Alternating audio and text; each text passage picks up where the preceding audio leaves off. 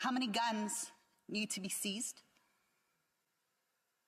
How much vitriol do we have to see of honk honk, which is an acronym for Hail Hitler? Do we need to see by these protesters on social media?